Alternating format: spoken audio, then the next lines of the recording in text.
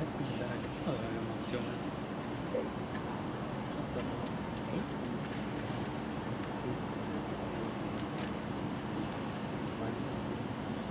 Und dann Fahrrad. Das finde ich ja gut an dem.